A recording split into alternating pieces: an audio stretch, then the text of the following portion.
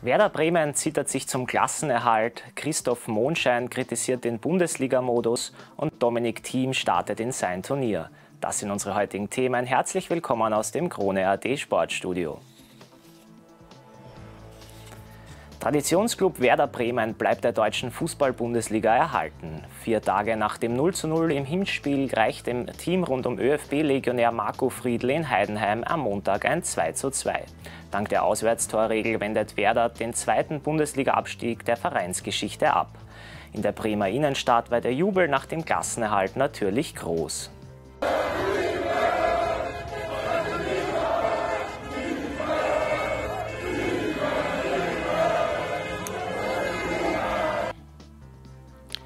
Bei den Feierlichkeiten soll es leider auch zu heftigen Auseinandersetzungen mit der Polizei gekommen sein. Für Aufsehen während des Spiels sorgen Mitte der zweiten Hälfte etwa 50 Zuschauer, die plötzlich auf der Haupttribüne sitzen. Aufgrund der Corona-Sicherheitsvorschriften werden sie aber nur wenig, wenige Minuten später von Ordnern schon wieder aus der Arena geleitet. Legende Stefan Effenberg hat sich zur Zukunft von David Alaba, der ja zuletzt mit Inter Mailand in Verbindung gebracht wurde, geäußert. Der Ex-Bayern-Profi würde einen Abgang des ÖFB-Stars aus München begrüßen.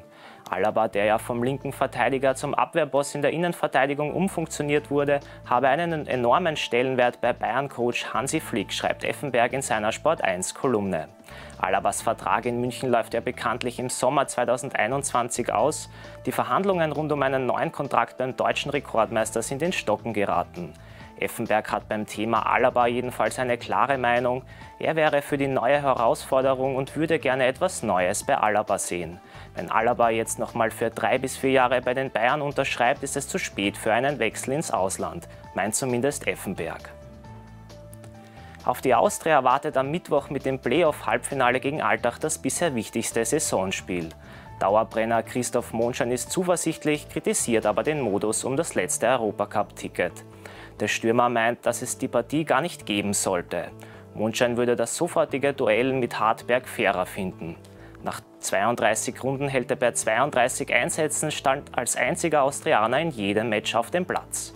Zwei Treffer und zwei Assists gelangen dem 27-Jährigen in der Quali-Runde. Nach dem starken Herbst steht er jetzt bei 17 Tore und 7 Torvorlagen. Dominik Thiem kehrt heute zunächst nicht als Titelverteidiger, sondern als Turniermitorganisator nach Kitzbühel zurück. Der Weltranglistendritte hat sieben weitere Spieler nach Kitzbühel eingeladen, wo in zwei Gruppen um gesamt 300.000 Euro Preisgeld gespielt wird. Team trifft heute Nachmittag zum Auftakt von Team 7 auf den Norweger Kaspar Rüd. Die Vorfreude beim Österreicher ist groß. Na sicher, ich wünsche mir äh, natürlich, dass alle super ernst an die Sache rangehen, aber trotzdem auch ein paar Schmankerl für die Zuschauer parat haben. Das, das wäre eine ideale Kombination. Äh, dazu sind die äh, Showturniere gemacht auch. Und so wie ich alle gesehen habe, sind alle richtig gut vorbereitet, voll im Training und äh, dann ist eigentlich eh alles angerichtet für super Partien. Mit dem Sport Krone AT Live-Ticker können Sie den Auftakt von Team natürlich wie gewohnt hautnah mitverfolgen. Das waren die wichtigsten Sportnachrichten. Ich bedanke mich bei Ihnen fürs Zusehen und bis zum nächsten Mal.